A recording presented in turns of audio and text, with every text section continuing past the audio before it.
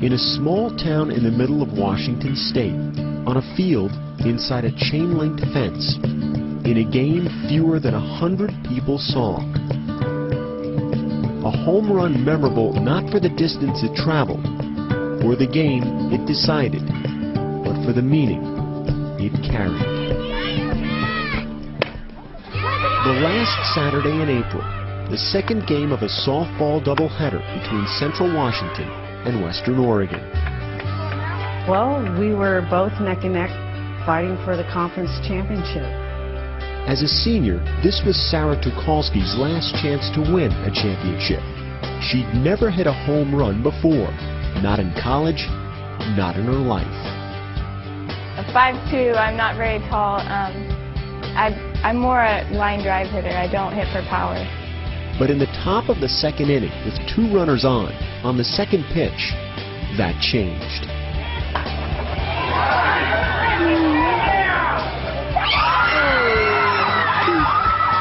I hit that pitch and it just went.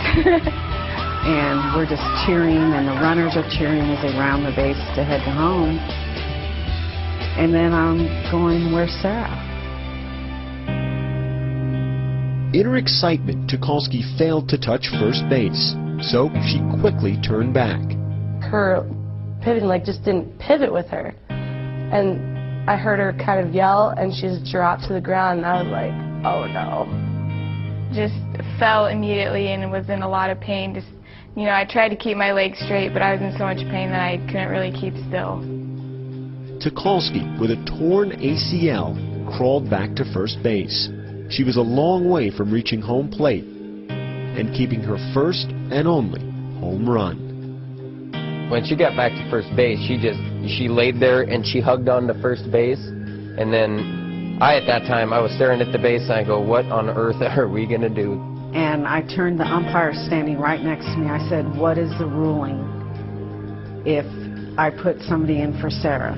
He said, it'll be a two-run single. If anybody would have, on her team, would have helped uh, Sara, she would have been a called, called out.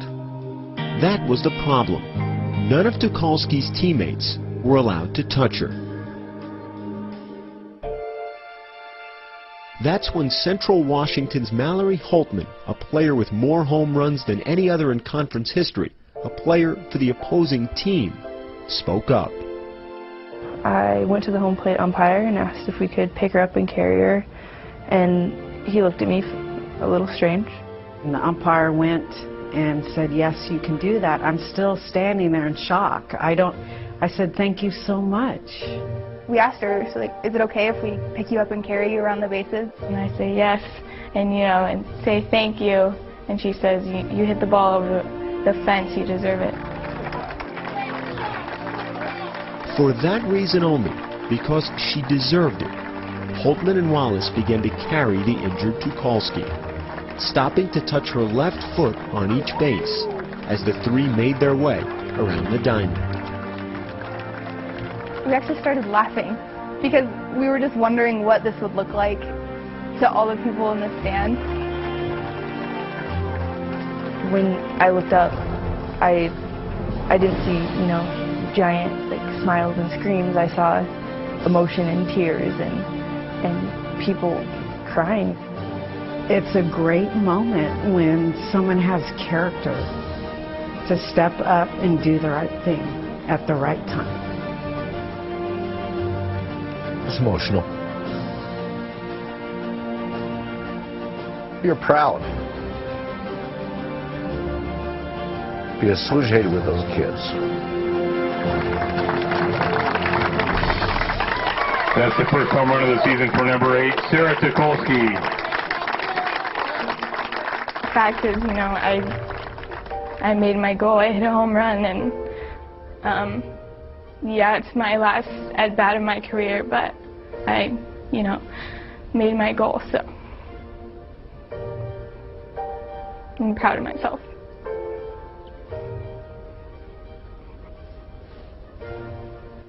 Mallory Holtman, Liz Wallace, and the Central Washington team lost the game that day, 4 to 2. Sara Tucholsky lost the rest of her season and her career to a knee injury. But for the spirit of sportsmanship, a greater victory, made on a long trot around the bases, a trip that truly touched them all. I have a lot of respect for her and put her in high regards, um, her and her teammates. And, you know, I can't thank her enough.